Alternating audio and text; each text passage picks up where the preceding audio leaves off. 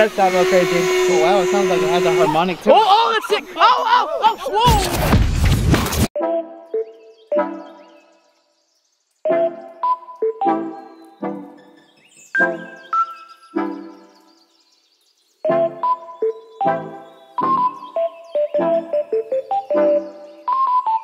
What's up, everybody? Welcome to Rotor Riot. I'm Let's Fly RC. I'm BubbyFPV. I'm Peter FPV. and if you guys know me, you know I like to build crazy things. The idea behind this is that it is going to be the ultimate gap hitter, right? Okay. You can shrink yourself down, hit the gap, and then expand back out again. So when this thing is flying and you give throttle, then the all the arms extend, right? Is that Exactly, right? yeah. So they're just extending on their own thrust. So I've had to do a few things in Betaflight to make this possible. I had to go in and turn off all of the good juiciness that makes our drones fly well today because all those filters and all the stuff that Betaflight's doing in, in the background actually interferes with this. It's trying to correct constantly. And if it's trying to correct with all the motors like that, Yeah. you can imagine what's gonna happen to the drone. Talk about the frame with the most resonance or whatever. right? Exactly. so I had to actually tell it to completely turn the motors off and actually stop them Yeah. whenever I drop the throttle to zero. So keep that in mind. When you go to re-enable the throttle, this thing's gonna be all over the oh. place trying to correct for what is Oh. Gotcha. confused with the flight control. Okay. Unfortunately, with the five inch, they have so much thrust that in order to get the arms to drop back down, I had to add rubber bands on the bottom to kind of pull it back centered. I you know, that's good though, so that when you do like let off throttle, it definitely goes back. oh, it goes you know? back really fast. Yeah. Yeah. I it mean, just from definitely feeling it, let's see it like,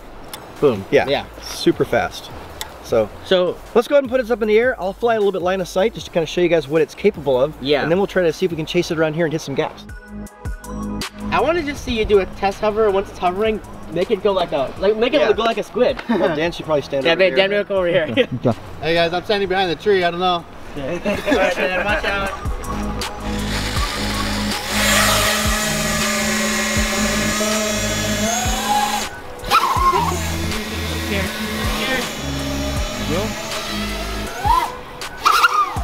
We go. Fly it. Let's FPV it. Sounds better. Let's FPV.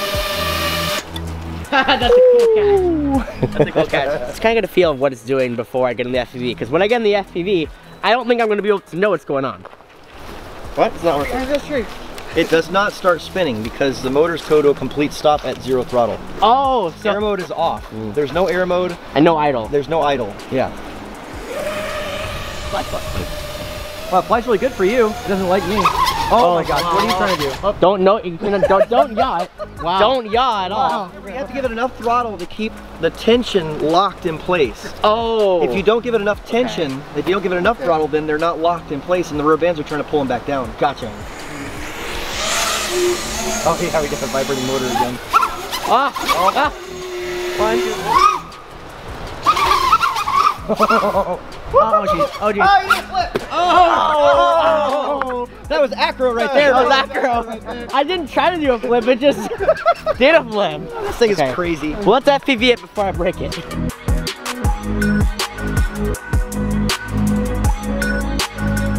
I'm inches back now. I'm gonna sit down and fly because I, I feel like once it freaks out, it's might uh, disorientate me a little bit.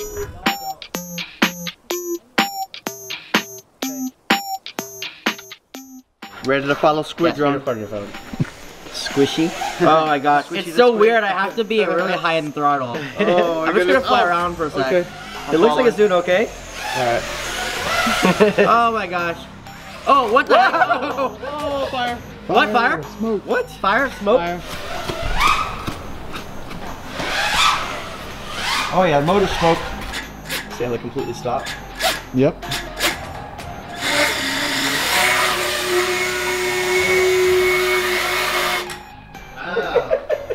Let's do it out there now so I can actually make it do its thing.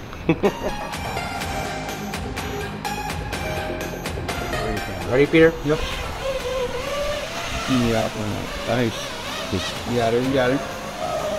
You ready, grab now me? let's go find that gap. I know where it is. Just All follow me. Let's go. There it is. Got this.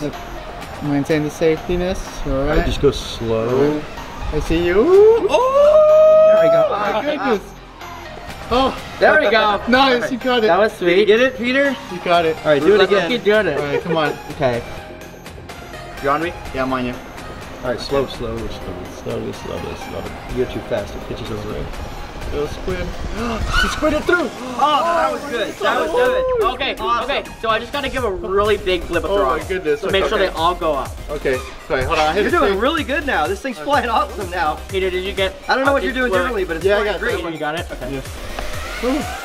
You ready? You on me? oh wait, no. There's, Oh, there's a gap. Graggle. Oh, Scraggle, watch out. Oh, So much Scraggle. Ready?